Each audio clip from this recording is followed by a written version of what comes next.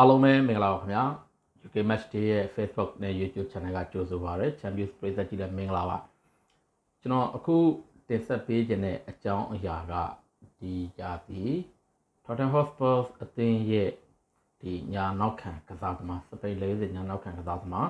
ဒီ Pedro Porro နဲ့ပတ်သက်တဲ့ဒီနီးဗျူဟာပိုင်းသုံးသက်ချက်ပေါ့နော်ဒီသူ့ရဲ့ tactical analysis လေးနည်းနည်းလေးလုပ်သွားကြတာပါဆိုတော့ ဒီဟာဒီ Postecoglou ရဲ့အသင်းကကျွန်တော်တို့ပြောမယ်ဆိုရင် near perfect ပဲတကယ် perfect နီးပါသူတို့ဟိုလုတ်ပြနေရယ်ဒီအတွက်လည်းဒီ Postecoglou နဲ့ဒီ Tottenham Hotspur ရဲ့ဒီဘယ်လိုခေါ်မလဲဆိုတော့အဖွင့်လှသွားတယ်ပေါ့နော်အဲ့ဒီလှသွားတဲ့အဖွင့်အတွက်ဒီကစားသမားတော်တော်များများဟာသူတို့ရဲ့ performance မှာဒီ standing up ဖြစ်လာတယ်နောက်တစ်ဆင့်ကိုရောက်လာကြတယ် ဆိုတော့အနေအထားမျိုးပေါ့နော်ဆိုတော့အဲ့အတွက်လည်းကျေးဇူးတင်ရမှာပေါ့ဒီ Tottenham Hotspur အနေနဲ့အဲ့မှာဒီ Tottenham Hotspur အခုလိုခြေစမ်းပြနိုင်ခြင်းအတွက်ဆိုရင်သူတို့ရဲ့ defensive unit ကတော်တော်လေးအရေးပါတယ်တကယ် vital so far အထူးသဖြင့်ဒီ right back နဲ့ left back နဲ့ဒီမှာကစားသမားတစ် ပြောမယ်ဆို Spurs ရဲ့ခံစစ်ကြောင်းမှာဟိုတရားဒီခံစစ်ကြောင်းကစားသမားတစ်3ဦးကစားသမား3ဦးတရားတိမှဒီအသင်းကိုရောက်လာတယ်ကစားသမားဟောင်းက Romero တူဦးရှိမယ်ဆိုတော့ဒီမှာ Van de Ven ရှိမယ် sorry ကစားသမားတစ်နှစ်ဦးပေါ့နော် Pedro Porro ကတော့မနေ့ထက်ရဆိုတော့ဒီညာချမ်းကကစားသမားတစ်တွေဘယ်ချမ်းကတော့ဒီအော် sorry ညာချမ်းကကစားသမားဟောင်းနေဘယ်ချမ်းကတော့ကစားသမားတစ်တွေ ဆိုတော့အဲ့မှာကျွန်တော်ကဒီလောလောဆယ်တော့တခြားကစားသမားတွေအကြောင်းတော့၎င်း Spurs အကြောင်းတော့၎င်း Spurs ရဲ့ခံစစ်သီးသန့်တော့၎င်းအဲ့ဒါတွေနောက်မှပဲပြောတော့မယ်အခုကကျွန်တော်ရည်ရွယ်ထားတာက Pedro Porro နဲ့ပတ်သက်ပြီးတော့ဆိုတော့ Pedro Porro က Spurs ရဲ့ဒီ right back မှာမနစ်တုံးကလည်းကစားခဲ့တာပဲဒါပေမဲ့ဒီနှစ်ကျတော့မတူတော့ဘူးတကယ် rejuvenation ဖြစ်သွားတယ်ဒီခံစစ်ညာချမ်းမှာဆိုတော့ကျွန်တော်တို့ကဒီ Pedro Porro ရဲ့ဒီ matrix တွေပေါ့နော်ဒီ key matrix တွေ statistics တွေကအဲကျွန်တော်တို့ဒီ internet မှာရှာလို့ရတယ်ဒီဘယ်လိုခေါ်မလဲဆိုတော့ဒီ statistics နဲ့ပတ်သက်တဲ့ဒီ website ဒီမှာလွယ်တူဝင်ရှာလို့ရတယ်ဒါပေမဲ့ကျွန်တော်တို့အခုအဲ့အကြောင်းထက်ဆိုင်ရင်သူတကယ်ကစားနေတဲ့ play နဲ့သူအကြောင်းပေါ့နော်အဲ့ဒီဟာကိုအဓိကပြောမယ်ဆိုတော့ 2022-23ရာသီတုန်းက Pedro Porro ကဒီ Sporting Lisbon ကနေပြီးတော့အဲ Tottenham Hotspur ကိုရောက်လာတယ်ရောက်လာတဲ့အချိန်မှာလဲသူဟာ average ရဲ့အောက်မှာပဲရှိတယ် below average ပဲရှိတယ်ညော်တို့မျောနေထားကြတယ်ထင်တော့လည်းဖြစ်မဟုတ်ဘူးဆိုတော့ကစားသမားလို့ပဲယူဆခဲ့ကြတယ်ဆိုတော့သူဟာဒီ performance ကို consistently ဒီခြေစွမ်းပြဖို့အတွက် fail ဖြစ်တယ်တချို့ပွဲတွေတော့ကောင်းပါတယ်ဒါပေမဲ့များသောအားဖြင့်တော့ Pedro Porro က fail ဖြစ်သွားတာကိုများတယ်ဆိုတော့ Sporting Lisbon မှာလည်းသူက right back ဒီ back four ရဲ့ right back ပဲကစားတယ်မနေ့ကဒီ Spurs အသင်းမှာလည်း back four ရဲ့ right back ပဲကစားတယ်အဲဒီနှစ်လည်းအခုဒါ back four ရဲ့ right back ပဲကစားတယ်ဒါပေမဲ့ဒီနှစ်စွမ်းဆောင်ရည်ကပြီးခဲ့တဲ့ရာသီကစွမ်းဆောင်ရည်ထက် အများကြီးပိုကောင်းသွားပြီ။ဘာကြောင့်လဲဆိုတော့ဒီဒီရာသီဒီ Spurs ရဲ့ဒီတိုးတက်မှုမှာတကယ် consistently တိုးတက်မှုမှာသူ့ရဲ့ဒီတိုးတက်မှုကလည်းတကယ် consistently improve ဖြစ်လာတယ်သူ့ရဲ့ဟိုဘယ်လို comment လဲဆိုတော့စွမ်းဆောင်ရည်ကပုံမှန်ဟိုကောင်းတဲ့တဖြည်းဖြည်းချင်းဒီ game by game တဖြည်းဖြည်းနဲ့ပိုကောင်းလာတယ်တခါလေကျတော့ဟိုဒီဘက်ခေတ် ဒီ right back တွေဟာအခုဒီ centrally ကိုနော် central row ကိုဝင်ဝင်လာပြီးတော့ဒီခံစစ်ရဲ့အရှိမဒါ double pivot ပေါ့နော် defensive midfielder နဲ့အတူဝင်ထိုင်တဲ့ပုံစံကဒီဘက်ခင်မှာအရန်ခက်စားလာတယ်ဒါပေမဲ့ကျွန်တော်တို့ဒီ Pedro Porro အဲ့လိုမျိုးတွေ့ရတာနည်းတယ်သူက traditional ပဲသူ့ပုံစံကဒီအပေါ်ဝက်တက်တယ်အဲ့ဒါနဲ့တက်လို့ရတော့လိုက်တက်တယ် Pedro Porro ရဲ့သူသူသူကစားတဲ့ပုံစံက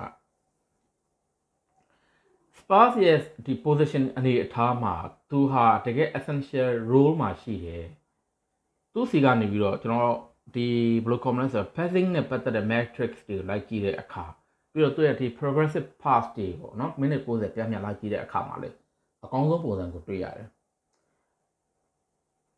Pedro Porro ရဲ့ဒီ defensive abilities ကတော့ကျွန်တော်တို့မေခွန်ထုတ်စရာအနေထားမှာရှိတယ်ဒါပေမဲ့လက်ရှိနီးပြ Postecoglou က သူဟာဒီကစားသမားစီက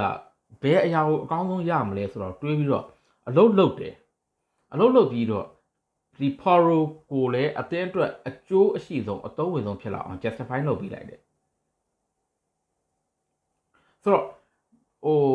ခံစပိုင်းဆွမ်းဆောင်ရေးအားနေခြင်းနဲ့ပတ်သက်ပြီးတော့ဝေဖန်မှုတွေရှိခဲ့ပေမဲ့အခုအချိန်မှာတော့ဒီ Pedro Poro ကဟို Spurs ပရိသတ်တွေအတွက်အကောင်းဆုံးကစားသမားဖြစ်လာတယ်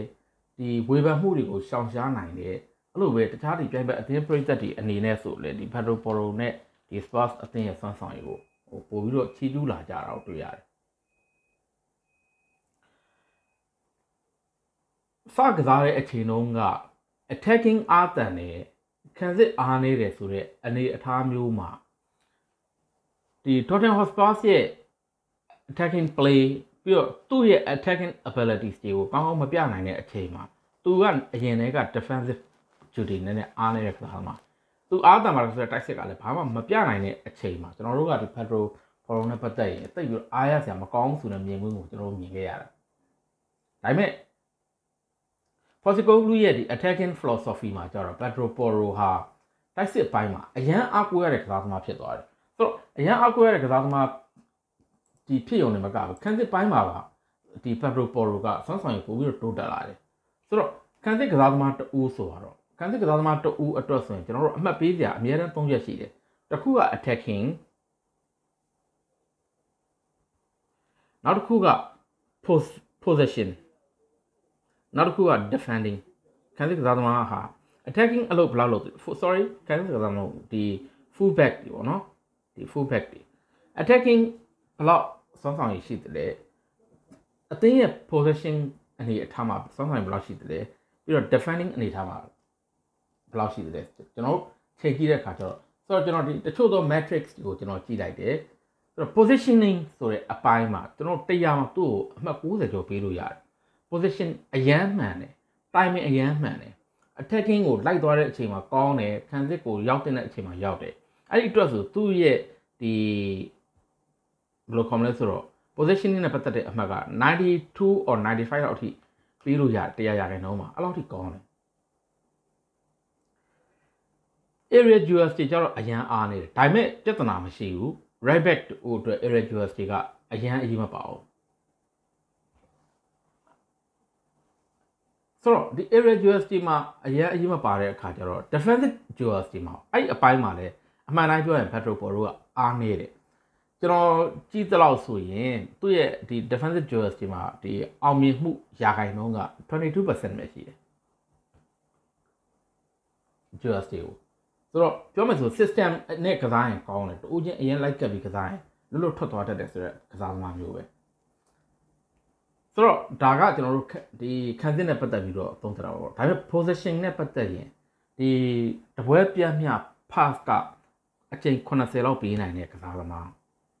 အဲ့ဒီထဲမှာ accurate pass percentage က60ရာခိုင်နှုန်းလောက်ရှိတယ် right back က center back တီလို့မဟုတ်ဘူးဒီအတွင်းကိုတစ်ဖက်ပဲထိုးရတာညာဘက်ချမ်းက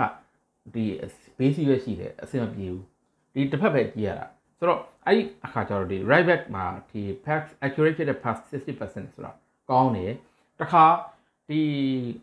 ဘယ်လိုခေါ်မလဲဆိုတော့ dangerous pass တွေအများကြီးပေးနိုင်တယ်ပြီးတော့ minute 90ပြန်မြ progressive pass ကတပွဲပြန်မြဒီ60ရာခိုင်နှုန်းလောက်ကအောင်မြင်တယ်65ရာခိုင်နှုန်းလောက်အောင်မြင်တယ်ပြီးတော့ဒီ minute 90ဘောလုံးလက်ခံတဲ့ receive pass တွေလည်းအရင်ကောင်းတယ် Pedro Porro ကဆိုတော့ position အပိုင်းမှာလည်းသူကောင်းတယ် defending ပိုင်းမှာသူနည်းနည်းအားနေတယ်ဒါပေမဲ့ attacking ပိုင်းမှာတော့ဒီ Pedro Porro ရဲ့ဒီဘယ်လိုခေါ်မလဲဆိုတော့အလုပ်လုပ်ပုံဟာဒီ Spurs အတွက် အရန်အကျိုးရှိတယ်အထူးသဖြင့် dribbles တွေလုပ်နိုင်တယ်ပြီးတော့ open play area တွေမှာသူ့ရဲ့ဘလုံးထိချက်တွေအများကြီးနဲ့အတူအသင်းရဲ့ open play ကိုကူညီတယ်ပြီးတော့ expected goal contribution တွေကောင်းတယ်ပြီးတော့ဒီ expected goal တွေအတွက်ဆို expected cross expected assist တွေအထက်တွေအဲ့ဒီအပိုင်းတွေမှာလည်းအားကိုအားကောင်းတာကိုတွေ့ရတယ်ဆိုတော့ခြုံကြည့်လိုက်မယ်ဆိုရင် Pedro Porro ဟာနီးပြကြောင့် အကောင်းဆုံးပုံစံရောက်လာတဲ့ကစားသမားလို့ပြောရင်မှားမှမထင်ဘူးသူခံစစ်အရေးအတွေ့ကအခုအခု Postecoglou ကလေးလက်ထက်မှာလည်းအားနေတော့မယ်ပြီးခဲ့တဲ့ရာသီတုန်းကလည်းဒီ Porro ကအားနေခဲ့တယ်ဒါပေမဲ့ပြီးခဲ့တဲ့ရာသီတုန်းကခံစစ်အားနေတယ်လို့တိုက်စစ်မှာလည်းသူ့ရဲ့ဒီ vital performance ကိုမပြနိုင်ဘူးဒီရာသီမှာတော့သူဟာသူ့ရဲ့ attacking abilities ကိုအကောင်းဆုံးပြနေတယ်တကယ် frequently ပြတယ် consistently ပြတယ်ဆိုတော့အားကြောင့်မို့ Pedro ဒီ Pedro Porro က Spurs အတွက်အရန်အရေးပါတဲ့တန်ဖိုးရှိတဲ့အသုံးဝင်တဲ့ကစားသမားတူဖြစ်လာခဲ့တယ်